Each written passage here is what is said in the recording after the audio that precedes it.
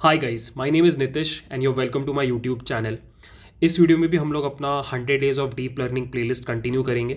uh, हमने last video में gated recurrent units पढ़ा था जी और आज के वीडियो में हम वहीं से कंटिन्यू करेंगे। uh, आज के वीडियो का टॉपिक है डीप आर ठीक है? सो डीप आर को ही स्टैक्ड आर भी बोला जाता है। सो बेसिक कॉन्सेप्ट इज़ कि आप कैसे multiple layers of R N stack कर सकते हो इन ऑर्डर टू सॉल्व थोड़ा कॉम्प्लेक्स टाइप ऑफ़ प्रॉब्लम तो वीडियो में हम लोग पहले डिटेल में इस कॉन्सेप्ट को समझेंगे। Uh, मैं आपको इसके पीछे का आर्किटेक्चर समझाऊँगा। और फिर एक कोड एग्ज़ाम्पल के through I try to present the idea कि आप कैसे एक प्रॉब्लम के ऊपर डीप आरएनएन को अप्लाई कर सकते हैं ठीक है? तो छोटा सा स्वीट सा टॉपिक है जल्दी से इसको कवर करेंगे। So let's start the video तो चलो guys let's start with deep RNN अब डीप आरएनएन पढ़ने के लिए ना हम थोड़ा पीछे जाएँगे और इस प्लेलिस्ट में अगर आपको याद होगा जो सबसे पहला न्यूरल नेटवर्क हमने कवर किया था वो था ए हम एएनएन से रिलेटेड एक कॉन्सेप्ट पढ़ेंगे। सो so, अगर आपको याद होगा आई एम प्रिटी श्योर मैंने किसी वीडियो में तो आपको ये टूल दिखाया था, जहाँ पर आप ब्राउज़र के अंदर एक न्यूरल नेटवर्क को ट्रेन कर सकते हो। तो हम क्या करेंगे, हम एक टॉय डेटा सेट लेंगे which is this spiral data set और हम इसके ऊपर एक न्यूरल नेटवर्क को ट्रेन करने की कोशिश करेंगे। हमारा गोल है कि इस डेटा के अंदर जो पैटर्न है, हम उसको मैप करना चाहते हैं with the help of a neural network देख के समझ में आ रहा है कि ये जो डेटा सेट है, ये थोड़ा कॉम्प्लेक्स है नॉन लीनियर है। इसको मैप कर पाना थोड़ा सा डिफ़िकल्ट होगा। जो भी है, हम लोग अपनी ट्रेनिंग को स्टार्ट कर रहे हैं विथ दिस न्यूरल नेटवर्क। इस न्यूरल नेटवर्क में हमारे पास ये हमारा इनपुट लेयर है, ये हमारा हिडन लेयर है, जिसमें चार यूनिट्स हैं या न्यूरॉन्स हैं, और ये हमारा आउटपुट लेयर है। ठीक है? अब you can see, training start हो गई, ऑलमोस्ट 800 इपॉक्स हमने क्रॉस कर लिया, बट कुछ ऐसा इफ़ेक्टिव रिज़ल्ट हमें नहीं दिख रहा। ज़्यादातर रीजन ऑरेंज लेबल हो रहा है और बहुत थोड़ा बहुत ब्लू लेबल हो रहा है। क्लियरली हमारा जो न्यूरल नेटवर्क है, वो अच्छा परफॉर्म नहीं कर रहा है। अब अगर इस पॉइंट पे मैं आपसे पूछूँ कि आपको अगर इम्प्रूवमेंट लानी है तो आप क्या करोगे? मोस्ट लाइकली आपका आंसर होगा कि ये जो हिडन लेयर है, इसमें हम लोग क्या कर सकते हैं? न्यूरॉन्स बढ़ा सकते हैं। तो हमने दो न्यूरॉन्स बढ़ा दिए और ट्रेनिंग स्टार्ट कर दी। लेट्स सी कुछ इंप्रूवमेंट आता है कि नहीं। अब इंप्रूवमेंट अगर आ रहा है तो क्यों आ रहा है इंप्रूवमेंट जैसे कि थोड़ा बहुत यू कैन सी थोड़ा इम्प्रूवमेंट तो आ रहा है। तो ये इम्प्रूवमेंट इसलिए आ रहा है बिकॉज़ आपने अपने न्यूरल नेटवर्क का जो रिप्रेजेंटेटिव पावर है एज इन जो रिप्रेजेंटेशन पावर है, उसको आपने इम्प्रूव कर दिया। आपने और कॉम्प्लेक्सिटी बढ़ाई अपने न्यूरल नेटवर्क की, जिसकी वजह से वो डेटा के अंदर के पैटर्न्स को और इफेक्टिवली खोज पा रहा है। वोट इफ़ मैं बोलूँ कि अभी भी सफिशियंट नहीं है क्या हम इसको और इम्प्रूव कर सकते हैं। तो आई गेस आप बोल पाओगे कि हम एक काम कर सकते हैं rather than having just one hidden layer we can have one more hidden layer with same number of neurons और अब अगर मैं इस मॉडल को ट्रेन करूँ you would see more improvement again why because आप जितने ज़्यादा हिडन लेयर्स और जितने ज़्यादा नोड्स ऐड कर रहे हो, आप अपने न्यूरल नेटवर्क का जो कॉम्प्लेक्सिटी है, उसको इंक्रीज कर रहे हो।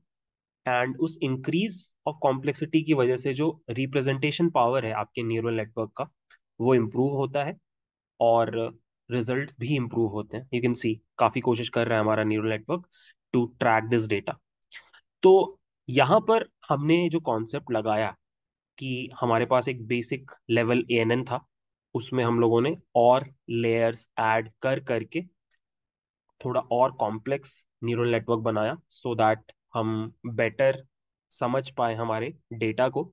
ये सेम कॉन्सेप्ट आप आर में भी यूज़ कर सकते हो। और जब आप आर में ये सेम कॉन्सेप्ट को यूज़ करते हो तो उसी को हम बुलाते हैं डीप आर ठीक है? तो एक बार समझने के लिए डीप आर क्या होता है? एक बार हमें पहले नॉर्मल आरएनएन को देखना पड़ेगा। थोड़ी देर के लिए मान लेते हैं कि हम लोग एक सेंटिमेंट एनालिसिस का टास्क परफॉर्म कर रहे हैं। जहाँ पर हमें एक रिव्यू दिया गया है किसी मूवी का और हमें बताना है कि वो पॉजिटिव है या फिर नेगेटिव है। ठीक है? तो थोड़ी देर के लिए मान लेते हैं कि हमारे सारे के सारे रिव्यूज़ पाँच वर्ड्स के हैं। तो आर का आर्किटेक्चर बहुत सिंपल होता है। मैंने आपको बता भी रखा है। आर में आप यहाँ से अपना करंट वर्ड भेजोगे रिव्यू का। यहाँ से आपको प्रीवियस टाइम स्टेप का आउटपुट मिलेगा जिसको हम एच टी माइनस वन बोलते हैं। यहाँ पर इनके बीच में एक टैन ऑपरेशन होता है और फिर यहाँ से आपको आपका आउटपुट मिलता है for the next time step जिसको हम एक्स एच टी बोलते हैं। और फिर यहीं पर आप एक सिग्मोइड लगा करके आ, अपना आउटपुट निकाल लेते हो। ये मैंने आपको ब्लॉक बना के दिखाया था। आ, अगर आप इसको अनफोल्ड करो सिंस हमारे पास फाइव वर्ड्स हैं तो टोटल टाइम स्टेप्स फाइव होंगे। तो अगर आप इसको अनफोल्ड करो तो ये आर्किटेक्चर कुछ ऐसा दिखाई देगा। So for each time step we will have one block यहाँ से आपको अपने पहले रिव्यू का फ़र्स्ट वर्ड मिलेगा। यहाँ से आपको अपने पहले रिव्यू का सेकेंड वर्ड मिलेगा। थर्ड वर्ड मिलेगा। फोर्थ वर्ड मिलेगा। और लास्ट वर्ड मिलेगा। यहाँ से आपको आपका प्रीवियस टाइम स्टेप का आउटपुट मिलेगा। इसको आप आगे भेजते जाओगे। Like like this. और यहाँ से ये आउटपुट आप निकाल सकते हो। Right? This is like unfolding your R N N in time. अब व्हाट इफ़ हमारा ये जो आर एन एन है, ये अनफॉर्चुनेटली सेंटिमेंट एनालिसिस सही से कर नहीं पा रहा है। जो एक्यूरेसी है, वो बहुत लो आ रहा है। In that case what you can do is कि आप यहाँ पर और हिडन लेयर्स ऐड कर सकते हो। अब यहाँ पर आप देखो, ये जो है, ये आपका इनपुट लेयर है। और ये जो है, ये काइंड kind ऑफ़ of आपका हिडन लेयर है।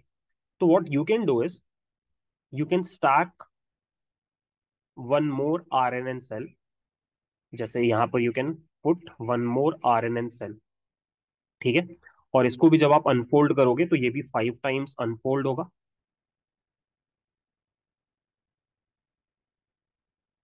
लाइक like दिस इसको भी पिछले टाइम स्टेप से हमेशा इनपुट मिलेगा। और इसका भी आउटपुट निकलेगा। The only difference with this hidden layer would be कि इसको मान लेते हैं, ये हिडन लेयर वन है, इसको मान लेते हैं, ये हिडन लेयर टू है। तो हिडन लेयर वन को आप डायरेक्टली इनपुट लेयर से इनपुट दे रहे थे बट हिडन लेयर टू को जो इनपुट मिलेगा, वो हिडन लेयर वन से मिलेगा। Like this like this like this और फिर सिमिलरली यहाँ से आपको आउटपुट मिलेगा हिडन लेयर टू का। जहाँ पर अगर आप चाहो तो एक थर्ड हिडन लेयर ऐड कर सकते हो। लाइक दिस जहाँ पे फिर से प्रीवियस टाइम स्टेप से भी इनपुट मिलेगा। और यहाँ से फिर से output and now there is no limit to this architecture इस तरीके से आप वर्टिकली कितने भी हिडन लेयर्स को स्टैक कर सकते हो। ठीक है?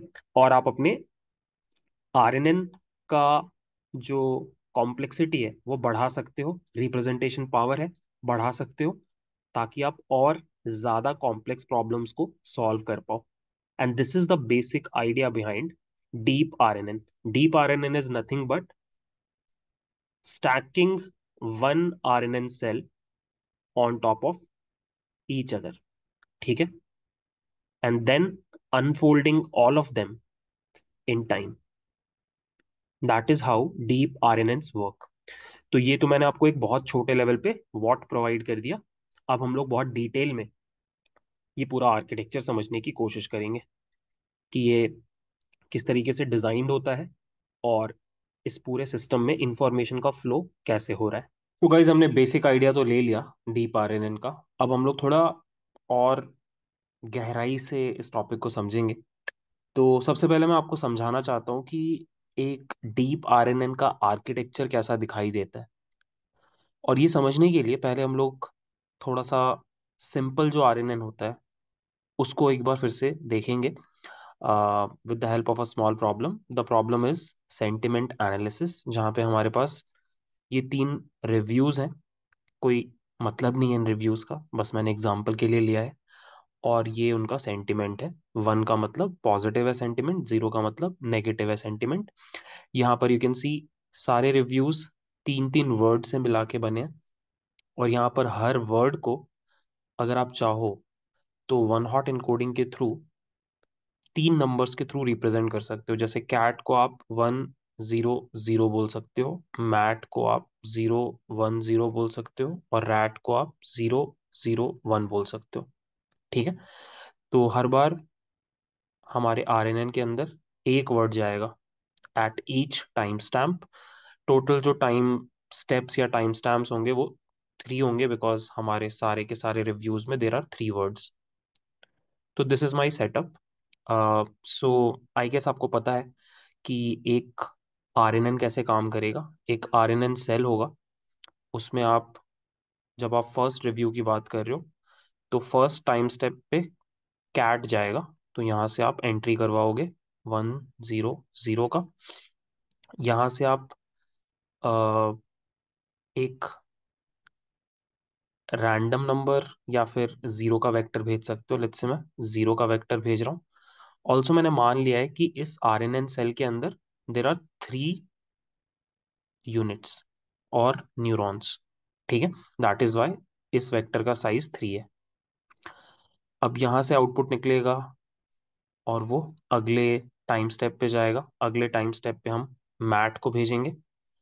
तो यहाँ पे ज़ीरो वन ज़ीरो जाएगा। फिर आउटपुट निकलेगा। थर्ड टाइम स्टेप पे जाएगा। यहाँ से हम रैट को भेजेंगे। और फाइनली यहाँ से हम आउटपुट कैलकुलेट कर लेंगे। ठीक है? तो ये हमारा हो गया अनफोल्डिंग बट अगर आपको आर्किटेक्चर समझना है तो आपको ऐसे समझना पड़ेगा कि आप देख पाओ कि इस आर एन एन सेल के अंदर क्या चल रहा है। तो मैं एक बार आर्किटेक्चर ड्रॉ कर रहा हूँ। सो बेसिकली हमने जैसा बोला कि हमारा जो इनपुट है, वो थ्री डायमेंशनल वेक्टर है और हमारा जो आर एन एन सेल है, उसके अंदर तीन यूनिट्स हैं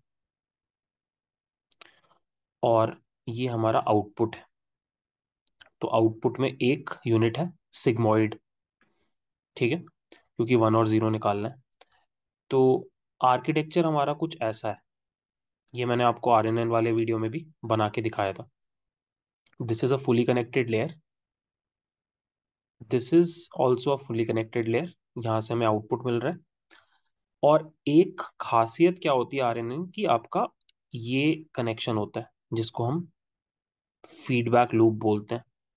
या फिर हम लोग स्टेट बोलते हैं। So this is a three cross three connection अगर आप इसको समझना चाहो कि ये काम कैसे कर रहा है तो मैं आपको दिखाता हूँ हर टाइम स्टेप पे क्या चलेगा। तो हम पहले टाइम स्टेप की अगर आप बात करते हैं तो this is the first time step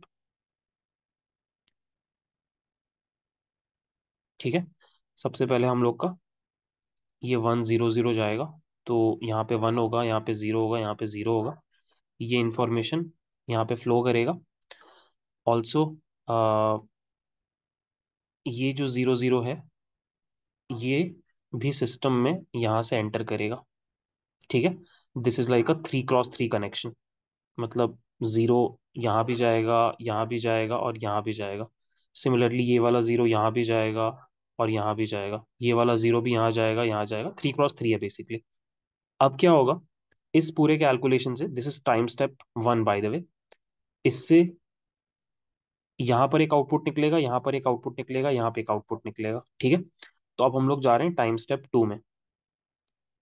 This is time step two यहाँ पे आपका इनपुट हो जाएगा। ये ज़ीरो वन ज़ीरो ठीक है? तो ये ज़ीरो वन ज़ीरो यहाँ पे जा रहा है। और मैं थोड़ा सा आगे बढ़ा के सब कुछ को लिख रहा हूँ सो दैट विजिबल रहे। ये वही तीन नोड्स हैं। अब इन तीनों का जो आउटपुट है वो यहाँ पे जाएगा। Again via three cross three connection this is a three cross three connection ठीक है?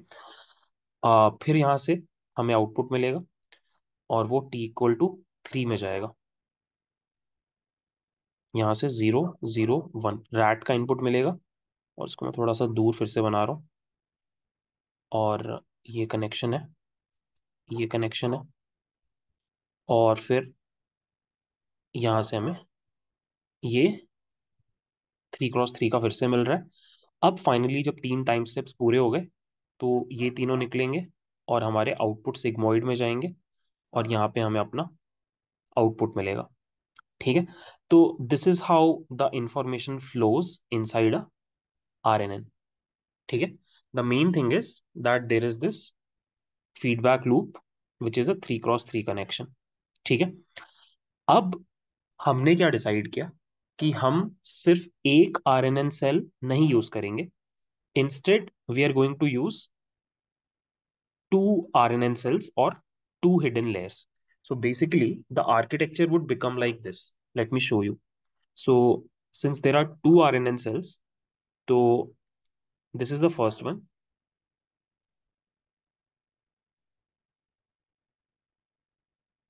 यहाँ से आपका कैट जा रहा है, यहाँ से आपका मैट जा रहा है और यहाँ से आपका रैट जा रहा है। बट हम यहाँ पे आउटपुट ना लेने के बदले हम हर टाइम स्टेप पे आउटपुट बाहर निकाल रहे हैं और अगले आर एन एन सेल में दे रहे हैं। इसको भी अपना इनपुट मिल रहा है और यहाँ से हम फाइनली आउटपुट कैलकुलेट कर रहे हैं। दिस इज़ द सेटअप ठीक है? तो अब मैं इसका आर्किटेक्चर बना के दिखाता हूँ कि ये कैसा दिखाई देगा। तो इस केस में थोड़ी देर के लिए मान लेते हैं कि ये जो आर एन एन सेल है, इसमें हमारे थ्री यूनिट्स हैं। और ये जो आर एन एन सेल है, इसमें मान लो टू यूनिट्स हैं। अलग अलग यूनिट्स पॉसिबल है। सेम भी हो सकते हैं, अलग भी हो सकते हैं। तो अब हमारा जो आर्किटेक्चर होगा, वो ऐसा दिखाई देगा। इनपुट में अभी भी तीन चीज़ें हैं। उसके बाद हमारा पहला आर एन एन आया। This is a three cross three connection ठीक है? There is this feedback loop then we have one more hidden layer and there is a three cross two connection and again, there is a feedback loop. And now we have the final output layer. And this is where we get our output. तो ये वाली चीज़ नई add हो गई। ठीक है? अब इस नई चीज़ के ऐड होने से हमारा जो आर्किटेक्चर है जब आप उसको अनफोल्ड करोगे, वो कैसा दिखाई देगा? Let me show it to you so time step one में आप मान लो this is the setup this is the setup this is time step equal to one यहाँ पे हम कैट का इनपुट भेज रहे हैं। ठीक है? ये इनपुट फ्लो किया और बाय द वे ये वाला इनपुट और ये वाला इनपुट पहले से आ रहा होगा। ये पहले से आ रहा होगा। या तो रैंडम नंबर्स होंगे या ज़ीरो होंगे। ठीक है? अब ये जो है, ये हमें यहाँ से मिल रहा है। ठीक है? तो ये हो गया, ये हो गया, ये हो गया। ठीक है? और ये जो कनेक्शंस हैं, वो ये वाला हो गया। ठीक है? अब इस पूरे कनेक्शन की वजह से हमें ये मिलेगा और ये मिलेगा ठीक है? तो अगर आप जाओ time step equal to two पे तो मैं थोड़ा आगे बढ़ा के कर रहा हूँ सब कुछ। सो so, ये हो गए मेरे तीन न्यूरॉन और ये हो गए मेरे दो न्यूरॉन तो यहाँ से निकल के यहाँ गया यहाँ से निकल के यहाँ आया और यहाँ से निकल के यहाँ आया। This is a three cross three connection which is this connection ठीक है? फिर यहाँ से निकल के यहाँ आया और यहाँ से निकल के यहाँ आया। This is a two cross two connection और मैं इस कनेक्शन की बात कर रहा हूँ। ठीक है? तो यहाँ तक हम पहुँच गए।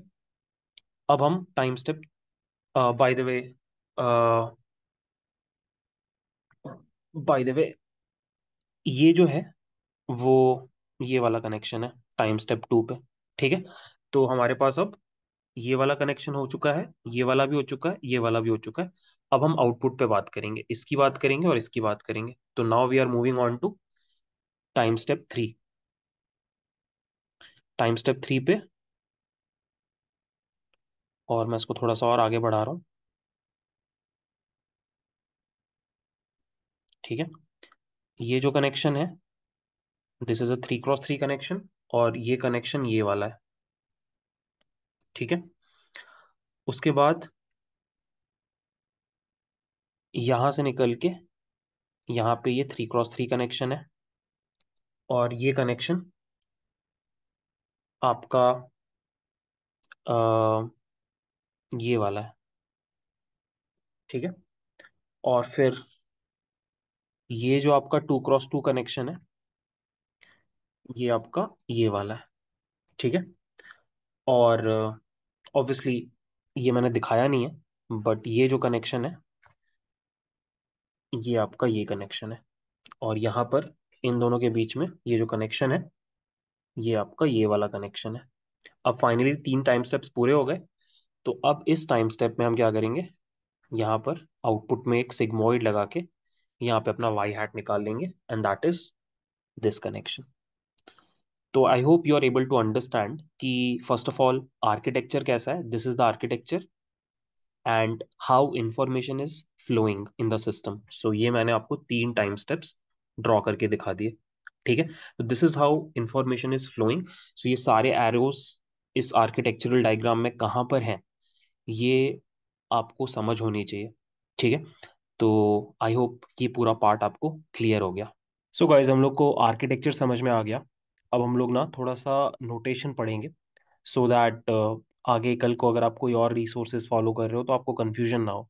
सो so यहाँ पर मैंने एक एग्ज़ाम्पल लिया है जहाँ पर हमारे पास uh, इस तरह का एक आर्किटेक्चर है जहाँ पर हमारे पास टोटल मिला के टाइम स्टेप्स फोर हैं और हमने तीन हिडन लेयर्स यूज़ किए हैं आर एन एन के। So this is the first layer this is the second layer and this is the third layer अब नोटेशन समझने के लिए सबसे पहले आपको ये याद रखना होता है कि आप सिंस ये जो आपको स्ट्रक्चर दिखाई दे रहा है स्क्रीन पे, ये एक टू डी ग्रिड की तरह है तो यहाँ पर दो एक्सेस हैं।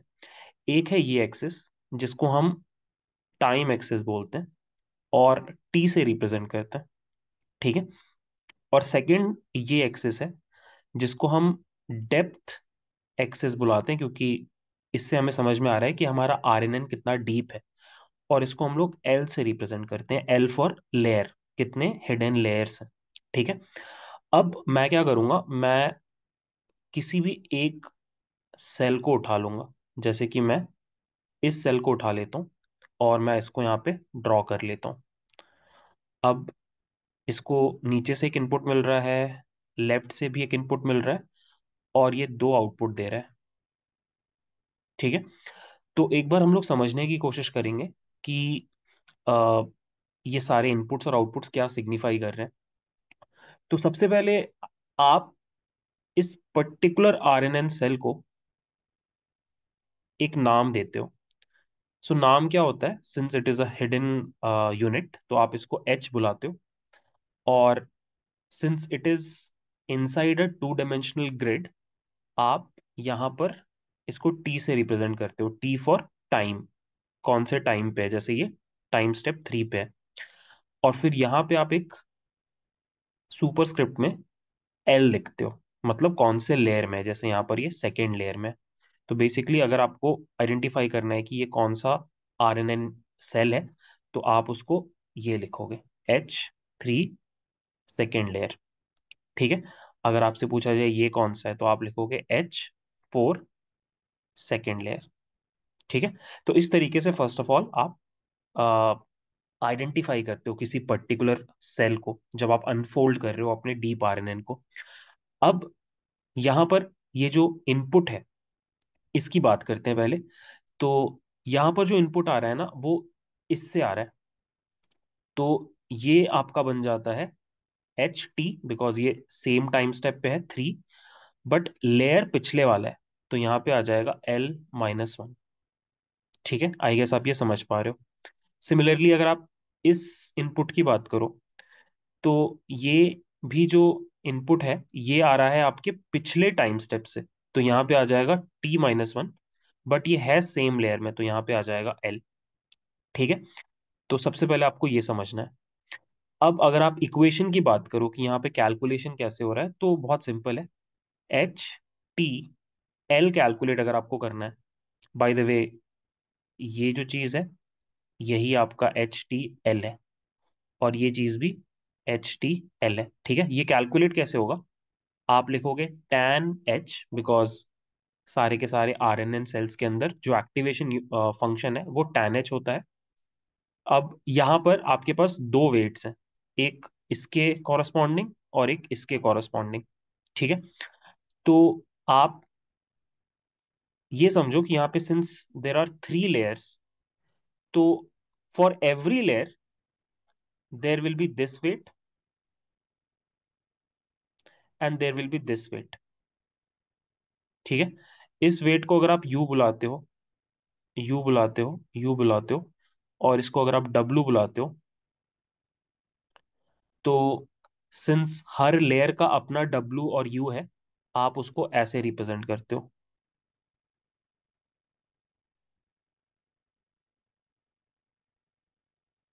ठीक है? तो for any general R N N cell H T for layer L will become tan H of W of that layer multiplied by this is W multiplied by H T minus one L plus U L multiplied by this thing. H T L minus 1 अब यहाँ पे आप bias add कर सकते हो। And this is the general equation for any particular R N N cell ठीक है? तो ये नोटेशन आपको याद रखना है। uh, उतना डिफ़िकल्ट नोटेशन नहीं है। It's a simple notation but एक बार वो क्लैरिटी आ जाता है ना कि there are two axis time axis and depth axis तो सोचना आसान हो जाता है। सो so गाइज़ हमने बेसिक लेवल इंट्रोडक्शन देख लिया डीप आर एन एन का उसके बाद हमने आर्किटेक्चर भी डिस्कस कर लिया। सो so, अब एक इंपॉर्टेंट पॉइंट डिस्कस करते हैं कि डीप आर एन एन आपको क्यों यूज़ करने चाहिए और कब यूज़ करने चाहिए ठीक है? तो वीडियो की शुरुआत में मैंने आपको बोला था कि डीप आर एन एन को यूज़ करने के पीछे जो सबसे बड़ा मोटिवेशन है वो है डेटा के कॉम्प्लेक्स पैटर्न्स को निकाल पाना समझ पाना। तो एक बार उस पॉइंट को थोड़ा अच्छे से डिस्कस करते हैं। सो uh, so, मेरे हिसाब से there are two main reasons why you should use deep R तो एक बार फ़र्स्ट पॉइंट के बारे में बात कर रहे हैं। फ़र्स्ट पॉइंट है hierarchical representation so basically this is an example of deep R N N so यहाँ पर यू कैन सी कि हमारे पास multiple hidden R N N cells हैं तो क्या फ़ायदा होता है अगर आप इस तरीके से स्टैक कर देते हो मल्टीपल लेयर्स में तो फ़ायदा क्या होता है? फ़ायदा ये होता है कि आपके जो शुरू वाले लेयर्स हैं, ये आपके डेटा में बहुत ही लाइक प्रिमिटिव जो फीचर्स हैं, उनको खोज निकालते हैं। जैसे मान लो आप प्रोडक्ट रिव्यूज़ का सेंटिमेंट एनालिसिस कर रहे हो। आपके यूज़र्स ने प्रोडक्ट्स का रिव्यू लिखा है, आप उसका सेंटिमेंट एनालिसिस करना चाहते हो। तो ये जो शुरू वाले लेयर्स है ना, ये क्या करेंगे? ये बहुत बेसिक जो फीचर्स हैं आपके डेटा में, जैसे कि words such as love hate amazing terrible अगर इस तरह के वर्ड्स दिखेंगे तो ये जो इनिशियल लेयर्स है ना, ये लोग क्या करेंगे वर्ड बाय वर्ड लेवल पे सेंटिमेंट निकालने की कोशिश करेंगे प्रिमिटिव लेवल पे। जैसे जैसे आप थोड़े मिडिल लेवल पे जाओगे तो सेंटेंस लेवल पे आप सेंटिमेंट एनालिसिस निकालने की कोशिश करोगे। जैसे कि आपने एक फ़ोन खरीदा था और यूज़र ने लिख दिया ऑडियो इज़ बैड तो वो लाइक सेंटेंस लेवल पे जो आपके मिडिल वाले लेयर्स हैं, वो आपके रिव्यू को समझने की कोशिश करेंगे। और फिर जैसे जैसे आप हायर साइड जाओगे, ऊपर वाले लेयर्स में तो वो क्या करेगा? वो ओवरऑल रिव्यू का जो सेंटिमेंट है, वो निकालने की कोशिश करेगा। जैसे ओवरऑल सेंटिमेंट में लिखा है audio is bad but display is great overall I am happy तो वो आगे वाले जो लेयर्स है ना, वो तीनों सेंटेंसेस को समझ करके एक ओवरऑल सेंटिमेंट निकालने की कोशिश करेगा। तो मेरे कहने का यह मतलब हुआ कि आपके डेटा में एक हायरार्की है। तो वही हायरार्की को ना, ये स्ट्रक्चर समझ पाता है। शुरू वाले जो लेयर्स हैं, वो बहुत प्रिमिटिव लेवल पे लाइक वर्ड लेवल पे चीज़ों को समझने की कोशिश करते हैं। बीच वाले जो लेयर्स हैं, वो सेंटेंस या फ्रेज लेवल पे समझने की कोशिश करते हैं। और आगे के जो लेयर्स हैं, वो पीछे के इंफॉर्मेशन के बेसिस पे, अभी तक की समझ के बेसिस पे ओवरऑल सेंटिमेंट समझने की कोशिश करते हैं। तो ये जो डेटा की हायरार्की है, सच में सेंटेंसेस और फ्रेजेस और पैराग्राफ्स ऐसे ही बनते हैं। वर्ड से सेंटेंस बनता है सेंटेंस से पैराग्राफ बनता है। तो ये जो हायरार्की है आपके डेटा में डीप आरएनएन्स उसको कैप्चर कर पाते हैं। तो this is why you should use deep RNNs ठीक है? सेकेंड जो रीजन है, वो थोड़ा अलग है। सेकेंड रीजन में यहाँ पर मैंने लिखा है customization for advanced task so कल को लेट्स से आप एक एनकोडर डीकोडर मॉड्यूल बना रहे हो लेट्स से ठीक है? एनकोडर डीकोडर मॉड्यूल बना रहे हो। तो वहाँ पर आप चाह रहे हो कि आप अटेंशन मैकेनिज्म यूज़ करो। अब मुझे पता है मैंने आपको भी अटेंशन मैकेनिज्म नहीं पढ़ा है but it's a famous thing तो मान लो आप अटेंशन मैकेनिज्म और एनकोडर डीकोडर को यूज़ करके एक मशीन ट्रांसलेशन मॉड्यूल बनाना चाहते हो, जो लैंग्वेज ट्रांसलेट करके आपको देगा। तो यहाँ पर आप क्या कर सकते हो, आप अपने एनकोडर और डीकोडर मॉड्यूल्स में you can use deep R N Ns in fact Google का जो मशीन ट्रांसलेशन टूल है गूगल ट्रांसलेट उसमें deep R N Ns use हुए भी हैं। ठीक है? तो यहाँ पर क्या हो रहा है कि डीप आर यूज़ हो रहे हैं to build advanced level architecture like encoder decoders with attention mechanism ठीक है? तो this can be the second usage of आपका डीप आर ठीक है? सो so, ये तो समझ में आ गया कि हमें क्यों यूज़ करना चाहिए डीप आर अब हम लोग डिस्कस करेंगे किस तरह के सिचुएशंस में आपको deep R N N use करना चाहिए। तो मैं आपको तीन चार सिनेरियोज बता रहा हूँ जहाँ पर आप प्रेफर करोगे deep R N N over single layer R N N so सबसे पहला है कॉम्प्लेक्स टास्क अगर आपके पास जो टास्क है उसकी कॉम्प्लेक्सिटी हाई है तो वो एक आइडियल सिचुएशन है जहाँ पे आप deep R N N try करना चाहोगे। मतलब कुछ एग्जांपल्स हो गए लेट्स से स्पीच रिकॉग्निशन यहाँ पर काफ़ी यूज़ होता है। uh, या फिर एक और एग्जांपल हो गया मशीन ट्रांसलेशन जो अभी मैंने थोड़ी देर पहले आपको समझाया। तो अगर आपका problem statement is complex you can और you should use deep R second point है when you have large data sets this is one important point generally speaking आप डीप आर तभी ट्राई आउट करते हो जब आपके पास काफ़ी सारा डेटा होता है। बिकॉज़ अगर आपके पास डेटा कम है और आप अगर deep R N N use करोगे तो ओवर फिटिंग का चांस हो जाता है। तो ज़्यादा data is required third is if you have sufficient computation और कंप्यूटेशनल रिसोर्सेस मतलब आपके पास इतना प्रोसेसिंग पावर और कंप्यूटेशनल पावर है कि आप एक्चुअली डीप आरएनएन का जो आर्किटेक्चर है, उसको ट्रेन कर पाओ। लेट्स से आपके पास एक वीक मशीन है तो फिर आपको deep R N N try नहीं करना चाहिए, ठीक है? Because it would take a lot of time to train the model and lastly when you are not satisfied with simpler models let's say आपने एक सिंगल लेयर का RNN को train किया और आपको जो रिजल्ट्स मिल रहे हैं वो सेटिस्फैक्ट्री नहीं है। आपका जो बेस लाइन मॉडल है वो उतना अच्छा रिजल्ट्स नहीं दे रहा है। तो आप वहाँ पर as an improvement deep R N N को ट्राई आउट कर सकते हो। तो ये बेसिकली एक तरह का गाइडलाइन दिया मैंने आपको। बाकी आप यूज़ तो कहीं भी कर सकते हो। बट ये समझने के बाद आप थोड़ा educational I am sorry educated तरीके से आप यूज़ कर पाओगे डीप आर को। तो गाइज़ अब हम लोग काफ़ी कुछ समझ गए हैं डीप आर एन एन के बारे में। तो let me show you a sample code जहाँ पर मैं आपको दिखाऊँगा कि आप डीप आर कैसे यूज़ कर सकते हो इन केराज ठीक है?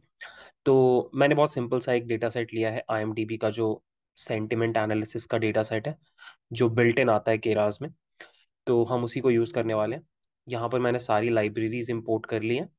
यहाँ पर हम डेटा को लोड कर रहे हैं using this function I M D B dot load data और हम टेन थाउज़ेंड वर्ड्स पे कैप कर रहे हैं, ठीक है?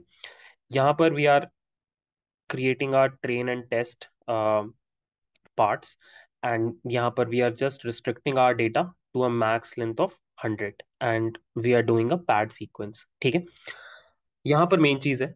So this is how you create a deep R N N so सबसे पहले हमने एम्बेडिंग लेयर यूज़ किया। ये हम पास में भी यूज़ कर चुके हैं जब हमने आर एन एन पढ़ा था और एल एस टी एम पढ़ा था। तो यहाँ पर बेसिकली ये मतलब है कि हमें जो इनपुट मिल रहा है वो टेन थाउज़ेंड वर्ड्स का मिल रहा है और हमारा जो आउटपुट है आ, उसमें हम क्या कर रहे हैं कि हम अपने हर वर्ड को एक थर्टी टू डायमेंशनल वेक्टर में रिप्रेजेंट कर रहे हैं। Every word will be represented as a thirty two numbers का वेक्टर ठीक है? यहाँ से मेन चीज़ शुरू होती है। यहाँ पर आपने अपना पहला हिडन लेयर लगाया है और उसके बाद देखो फिर से आपने सेकेंड हिडन लेयर लगाया है। जो पहला हिडन लेयर है उसमें पाँच यूनिट्स हैं। और दूसरे वाले में भी पाँच यूनिट्स हैं, यहाँ पे आप पंद्रह भी कर सकते थे, कोई प्रॉब्लम नहीं होती बट फ़िलहाल मैंने सेम रखा है। और लास्ट में there is a dense layer so अगर मैं आपको इसका आर्किटेक्चर समझाऊं तो आर्किटेक्चर इज़ लाइक दिस कि यहाँ से ये हमारा इनपुट लेयर है, जहाँ से हमारे हर टाइम स्टेप पे एक वर्ड अंदर आएगा। और this is like thirty two dimensional for each word is represented using thirty two numbers तो एक बार में एक वर्ड आएगा मतलब थर्टी टू नंबर्स आएँगे। तो this is thirty two dimensional उसके बाद यहाँ पे मेरा आर एन एन है, जिसमें पाँच नोड्स हैं। ठीक है? उसके बाद मेरा एक और आर एन एन है, जिसमें अगेन पाँच नोड्स हैं। और फिर लास्टली मेरा एक नॉर्मल नोड है, जो सिग्मोइड नोड है। This is tan h this is also tan h and this is sigmoid, and all of this is fully connected the only difference is कि this is a recurrent connection, feedback loop, ठीक है? तो अगर मैं आपसे पूछ लूँ कि यहाँ पर वेट्स एंड बाइसेस कितने होंगे तो सबसे पहले तो अगर आप एम्बेडेड लेयर की बात करो तो एम्बेडेड लेयर में कितने वेट्स होते हैं? जितना आपका इनपुट डायमेंशन है और जितना आपका आउटपुट डायमेंशन है। इनपुट डायमेंशन है टेन थाउज़ेंड और आउटपुट डायमेंशन है थर्टी टू तो बेसिकली ये हो जाएगा तीन लाख बीस हज़ार। ठीक है? ये हो गया एम्बेडिंग लेयर अब हम बात करते हैं इस वाले लेयर की। तो यहाँ पे थर्टी टू है, यहाँ पे फाइव है। तो ये कनेक्शन हो गया थर्टी टू क्रॉस फाइव का। फिर ये जो फीडबैक कनेक्शन है, ये फाइव क्रॉस फाइव है। और फिर इन पाँचों नोट्स के एक एक बायस हो गए तो फाइव तो थर्टी टू क्रॉस फाइव हो गया one sixty five cross five हो गया ट्वेंटी फाइव और फाइव हो गया तो this will become one ninety तो एम्बेडेड लेयर में तीन लाख बीस हज़ार है। Simple R N N one वाला जो लेयर है, उसमें वन नाइन्टी है। अब हम बात करेंगे सेकेंड वाले की, इस वाले की। तो यहाँ पर सबसे पहले तो इनके बीच में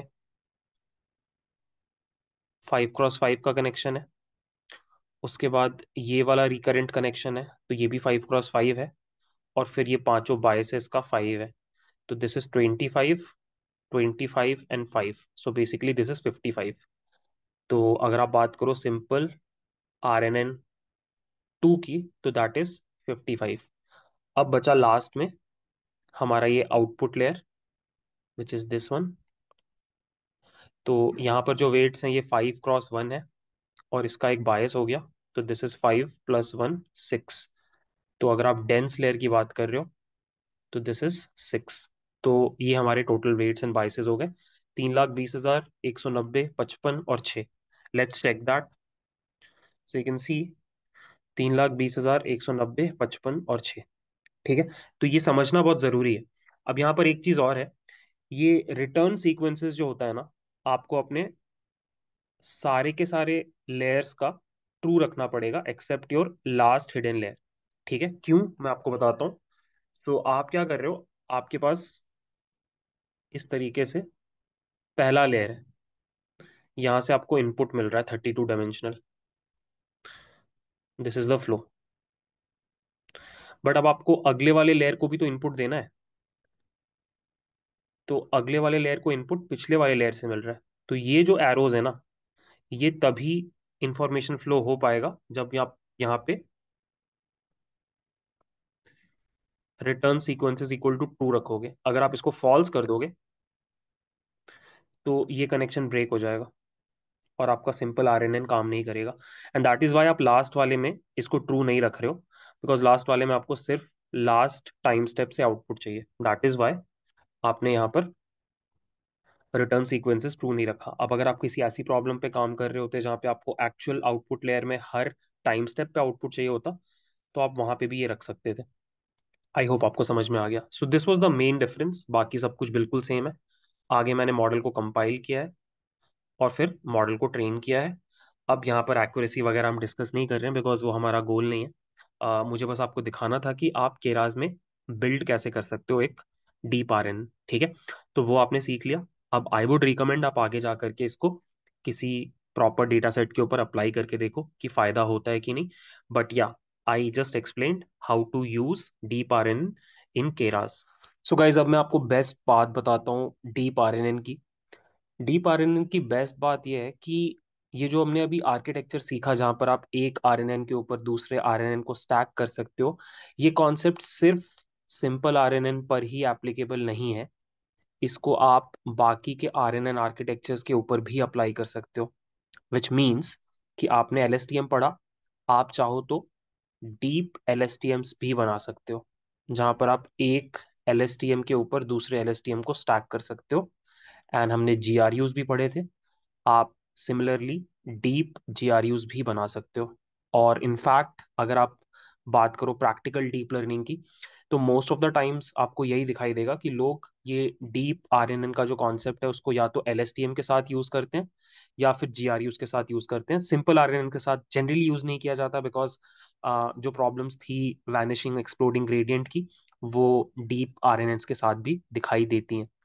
तो I just show you the code कि how can you create like this was our model जहाँ पे हमने एक डीप आर एन एन बनाया था। बस यहाँ पर अगर आप सिंपल आर एन एन के बदले एल यूज़ कर दो तो ये आपका एक डीप एल बन गया, ठीक है? और सिमिलरली अगर आप एल के बदले G R U layer use कर दो तो फिर ये आपका एक डीप जी आर यू बन गया, ठीक है? तो आई वुड रिकमेंड एक डेटा सेट उठाओ, वहाँ पर आप एक्सपेरिमेंट करके देखो, सिंगल आर एन एन को डीप आर एन एन को, single L S T M को, deep L S T M को, सिंगल जी आर यू को, डीप जी आर यू को और अपना जो भी आपके रिजल्ट्स आ रहे हैं, उनको आप काइंड ऑफ़ डॉक्यूमेंट करो, समझने की कोशिश करो, चीज़ें कैसे काम कर रही हैं।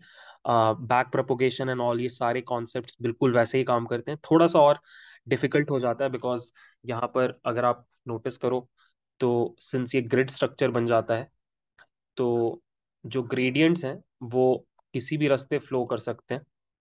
किसी भी रास्ते फ्लो कर सकते हैं। लाइक आप यहाँ से इस तरीके से भी पहुँच सकते हो, यहाँ से इस तरीके से भी पहुँच सकते हो। तो वो थोड़ा सा ज़्यादा डिफ़िकल्ट है calculation but the good part is कि केरास जैसी लाइब्रेरी इंटरनली वो हैंडल कर लेती है by forming a computation graph तो वो हमारा कंसर्न नहीं है। हमारा कंसर्न है to understand the concept and apply it इसके साथ साथ आप ड्रॉप आउट्स और इस तरह के कॉन्सेप्ट्स भी इस्तेमाल कर सकते हो। नथिंग चेंजेस बस आपने कॉम्प्लेक्सिटी थोड़ी सी बढ़ा दी ठीक है? सो so, अगर हम बात करें डिसएडवांटेजेस की तो दो ही मेजर डिसएडवांटेजेस हैं। पहला सिंस आप कॉम्प्लेक्सिटी बढ़ा रहे हो अपने न्यूरल नेटवर्क का तो ओवर फिटिंग का टेंडेंसी थोड़ा बढ़ जाता है। तो आपको केयरफुली अपने न्यूरल नेटवर्क को डिज़ाइन करना है ड्रॉप आउट्स रेगुलराइजेशन जैसा टेक्निक्स सही से इस्तेमाल करना है और लर्निंग रेट वगैरह केयरफुली सेट करना है। ठीक है वेट इनिशियलाइजेशन भी मैटर करता है। तो ये सब चीज़ें आपको देख के करनी है, नहीं तो ओवर फिटिंग का चांसेस है which basically means training data पर रिज़ल्ट अच्छा आने लगेगा टेस्ट डेटा पे नहीं आएगा। And the second problem is जो ट्रेनिंग टाइम है मॉडल को ट्रेन करने में जो टाइम लग रहा है, वो बढ़ जाता है especially if you are working on a large data set since आपने अपने न्यूरल नेटवर्क में पैरामीटर्स बढ़ा दिए, उनको ट्रेन करना विल बी डिफ़िकल्ट बिकॉज़ आपको उतने ज़्यादा पैरामीटर्स के लिए बैक प्रोपोगेशन परफॉर्म करना है डेरिवेटिव्स कैलकुलेट करना है अपडेट करना है this might take some time ठीक है तो these are the two major disadvantages but as I said अगर आपका सिंपल आरएनएन से काम नहीं चल रहा है तो you should definitely try out deep R ठीक है और डीप आर में भी I would recommend going for deep L and and deep GRUs. So yeah, that was the video guys. I just gave you an introduction on uh, deep RNNs और uh, काफ़ी detail में समझाने की कोशिश की अब आपका काम है जो नॉलेज आपने इस वीडियो से गेन किया है, उसको आप प्रैक्टिकली किसी डेटा सेट पर अप्लाई करो और जो भी आप सीखो, उसको कहीं पे डॉक्यूमेंट करो, ठीक है? अगर वीडियो पसंद आया तो लाइक करना और अगर आपने चैनल को सब्सक्राइब नहीं किया है प्लीज़ डू सब्सक्राइब मिलते हैं नेक्स्ट वीडियो में. बाय